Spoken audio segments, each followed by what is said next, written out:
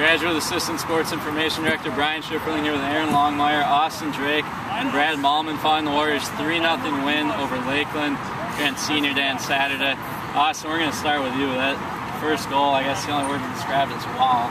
Uh, the bicycle kick. Uh, just take us through the play, what you saw, and what happened. Um, it was just a scramble at the top of the box, and then uh, came up to me, and instinct really just took over. Uh, I just went for it, and it turned out the result. But, I know your guys' thoughts on that goal. Pretty impressive. Uh, I've never seen him do a bike before, so I don't know if he had it in it, but I did. it was, it was pretty nasty. And then uh, Brad, you had uh, two more goal or two goals on the day to make the score three nothing. Your first goal didn't take you too long once you got in the game. Tony was starting for you, but you got in the game. Not even 30 seconds in, you scored a goal. Take us through that play.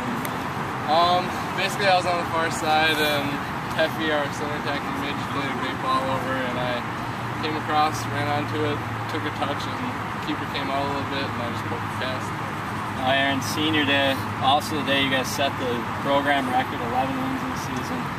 You guys are going to the NAC tournament. All this got, got to be pretty exciting. Uh, obviously, uh, four years here and finally get to the NAC tournament. Talk about that a little bit. Yeah, it's pretty special. The other three years I was here wasn't, wasn't that good, but we've been playing we've been playing well this year, and uh, hopefully we can keep it going into through the next tournament. And you guys, anything to add? 11 wins, program record going to the tournament. Uh, just talk about the season, how, how it's been. Obviously, been a pretty successful season so far. Yeah, just exciting, you know. It's good to make the tournament, and uh, hope to continue forward. A lot of excitement, keep bringing in good players, and we're getting a lot, lot better.